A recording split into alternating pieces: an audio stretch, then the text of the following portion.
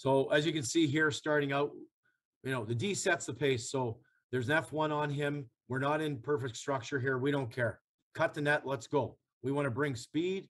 We want to attack. We want to catch them when they're not ready. Again, here, F1's down ice, putting heat on the defenseman or the player back. Let's zip it by him. Let's trap him. We'll take a four on three instead of a five on four all day long. Then we go double pass. We get everything we want on the entry with our support. Well done. Again, here on our entries,